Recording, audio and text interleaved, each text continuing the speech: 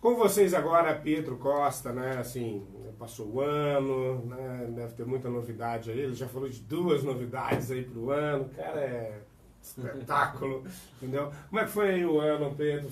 Passagem de ano mais uma vez. Nossa, o ano é só agradecer, né? Para a academia foi um ano assim marcante, na é verdade, meus caros, meus companheiros. Com certeza. Tivemos um, um, um ano bem profícuo, muitas atividades culturais o Sarau do Clube do Choro, o lançamento da coletânea, o audiolivro, né?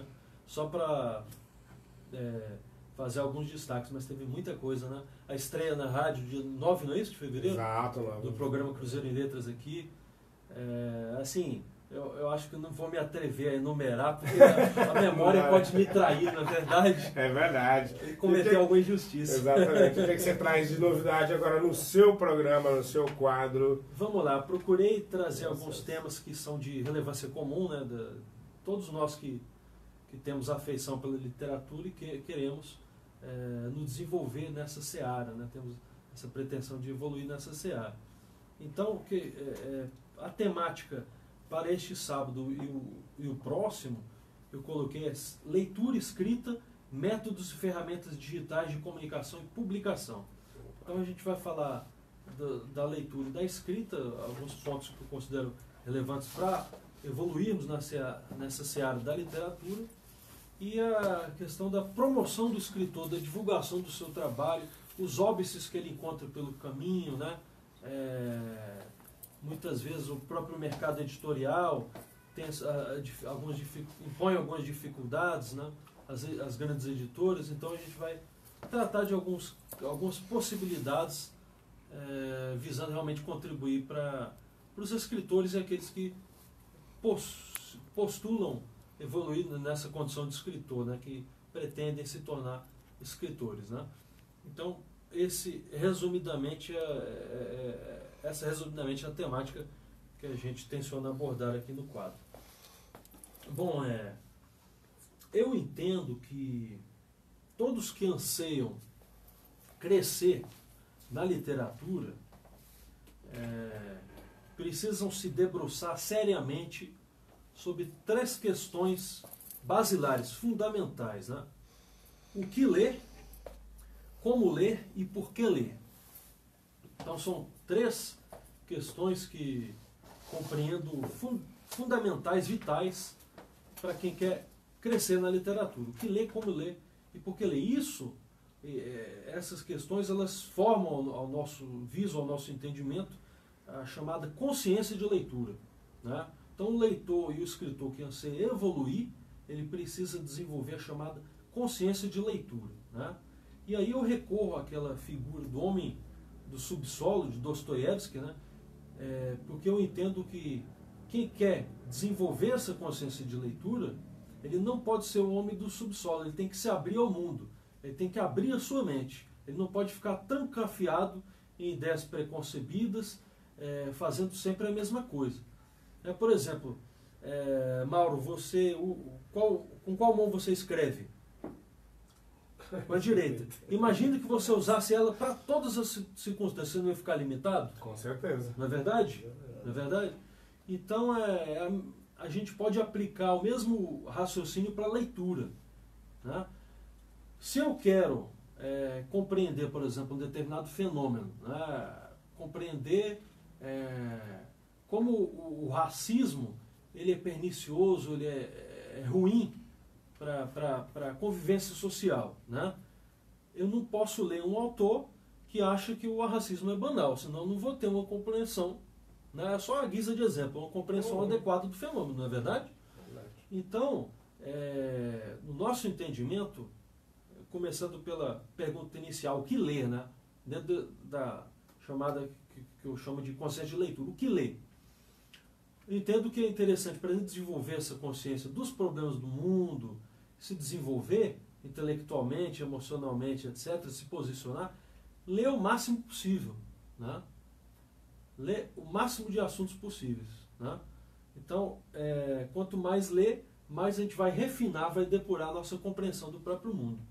E, nesse processo, identificar quais assuntos mais é, problemáticas, mais nos animam, mais nos angustiam e, e e a partir disso, sim, é, ter um crivo do que, do que ler. Mas nesse processo é importante a gente ler, quanto mais ler, melhor. Né? O que ler. Não é verdade? E a, até para. Eu posso dar uma. Claro. O próprio Mário Quintana, que eu lembrei aqui que estou com o livro dele, tem uma coisa que ele fala, quando perguntaram para ele é, a questão de ser poeta, né? Aí ele vira e fala assim, é, eu sou é, é, poeta, é aquele que lê para ficar no jornal. Ficar não deixa de ser a questão que você está falando. Não, é a leitura que faz com que você tenha esse processo. Leia. Leia. Só ver aqui. É, e até o, o Charles Cifre, faz uma consideração interessante, né?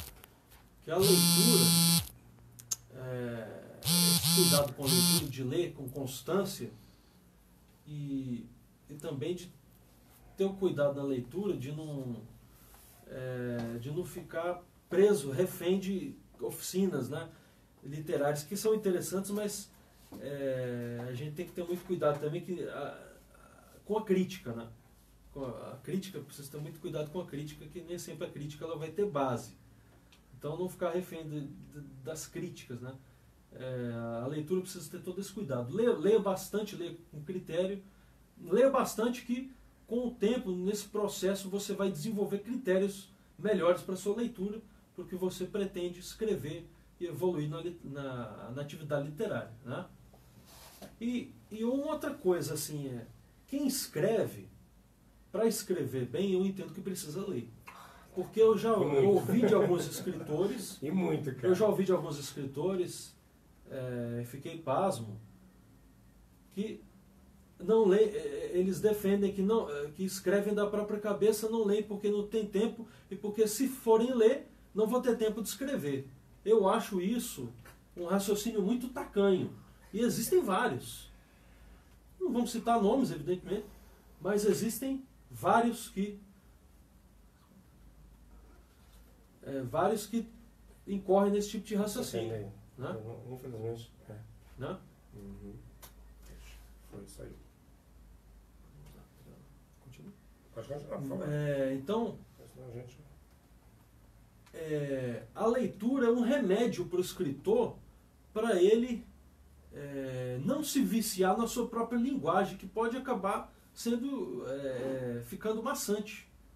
O, o, leitor, o escritor e o leitor também precisam estudar, precisam compreender o fenômeno da linguagem, é, os seus vícios, a linguagem natural, a linguagem formal, conotação, denotação, ambiguidade, vagueza que a ambiguidade e vagueza da linguagem natural, por exemplo, é um terreno fértil para o poeta. Né? É, porque o, o, ao nosso viso, um dos encantos da poesia é a capacidade que ela tem de não ser óbvia. Né? O, o poema que parece esconder um segredo, uma intenção no seu substrato, no seu âmago, no seu corpo. Isso é, isso é fascinante. Né? Então, explorar a linguagem em toda a sua riqueza pressupõe o quê? O estudo, a leitura. É não é? Não é verdade? Então, o que ler? Quanto mais ler, melhor. Hum? Quanto mais ler, melhor. Certo, pessoal? Tá é, conhecer diferentes abordagens, eu citei o racismo, a gente poderia citar outros temas, direitos humanos, meio ambiente, é, desigualdades sociais, né? por aí vai. Que é importante. Então essa é a primeira pergunta, o que ler? Né? Agora a gente ingressa na segunda pergunta, que é importante para desenvolvermos a chamada consciência de leitura. Como ler? Né?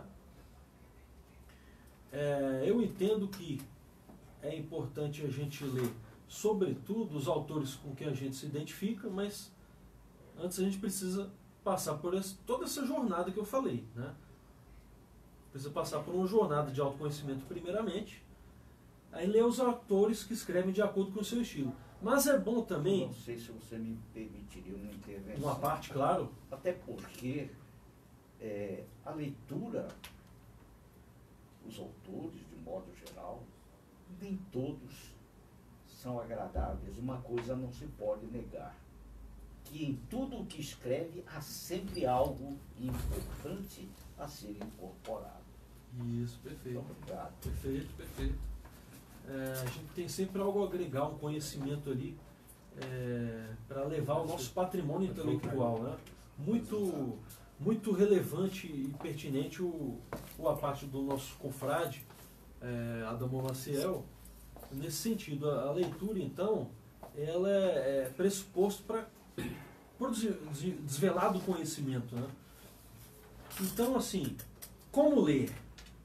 É, não, não menospreze os autores é, que você, à primeira vista, não se identifica ou discorda. Você pode ter algo, provavelmente terá algo a agregar nessa leitura também, inclusive de autores com quem não concordamos, é, com estilos divergentes, literários divergentes, conflitantes, etc. Tá certo? Então, é, como assinala é, como assinala o Charles Kiefer, né, é importante percorrer direções diferentes, né? Inclusive para o desenvolvimento mental, né? Uma coisa corriqueira que se, que se fala, né? Você vai para o trabalho. É bom a gente variar o trajeto para o cérebro não atrofiar.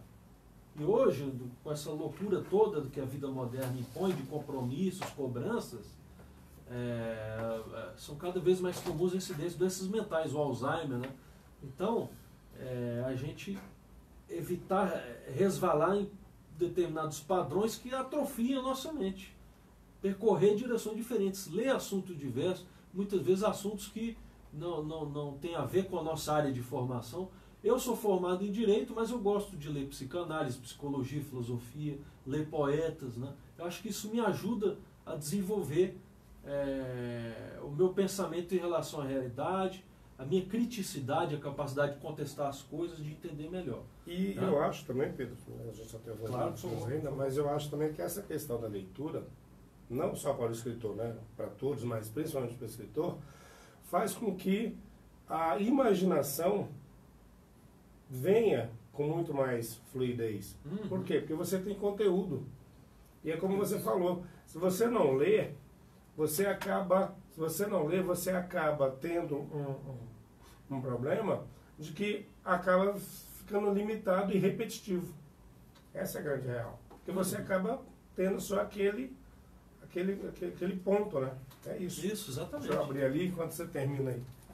Então, é... e, e outras palavras, desculpa é, há um enriquecimento. Há um enriquecimento Sem dúvida. leitor. Né? Sem dúvida. É, de ideias, uhum. de modo para contradição, contradizer.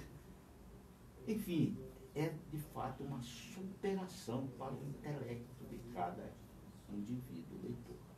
Sem dúvida, sem dúvida. Eu acho que a gente converge nesse, nesse entendimento, né? que a, a, a leitura só tem a agregar, né? Só tem a agregar o nosso, o nosso patrimônio intelectual. É, então, como ler essa questão de você ler também assuntos e autores diferentes, uma leitura atenta aí a gente recorre ao, ao, ao estudo profícuo da Francine Prose, né? em, que se coloca que a leitura atenta é a leitura da palavra por palavra frase por frase, por prazer, mas sem abdicar de uma postura analítica consciente do estilo, dicção e organização do pensamento do autor em torno da trama, personagens e diálogos. Né? É, como ela fala aqui, que me encantou bastante, inspiradora essa, essa, é, essa colocação dela aqui. Aproximar-se da mão e da mente do artista, como contemplar de perto Rembrandt para ver as pinceladas. A leitura atenta. E, e finalizando, né, a, a, fluência da leitura dentro dessa, dessa perspectiva de, de como ler. Né? A leitura é, não, que não deixe escapar algum ponto que acabe causando incompreensão entendi, ou falta de entendimento, seja uma frase, uma analogia, uma metáfora, Então a importância da gente recorrer a bons dicionários e não avançar na leitura enquanto não entender um determinado trecho, passagem, parágrafo, é, no caso da, da, da, poesia, versos, estrofes, etc. Né? E, e finalizando a, o, o, nosso quadro de hoje, e no próximo sábado a gente fala da, dos métodos e ferramentas digitais de comunicação e publicação. Finalizando, a escrita. Né? É, o, o porquê ler eu acabei tratando no, âmbito ali do que ler, eu acabei juntando os dois. E a escrita, é, a, o escritor, ao nosso viso, eu, é, eu respaldo o entendimento do Ray Bradbury, né? é importante ele observar, como seja como um camaleão, mimetiza a paisagem, observe o seu cotidiano, a sua família, é, onde você estuda, onde você trabalha, os diálogos, os lugares mais corriqueiros, na padaria, é, no mercado, tudo é matéria, né? Lembrando poesia, como fala o Manuel de Barros, Barros, tudo é matéria de poesia, poesia, ou mesmo tudo é matéria de literatura. Sim. Não é? Do, a literatura ela flerta com a imaginação, com o ficcional, não é verdade? verdade? Então tudo é matéria da literatura. Observe, além de várias outras características, eu vou, eu vou me, me ater a essa, que eu acho que essa é sine qua non, é condição imprescindível para as demais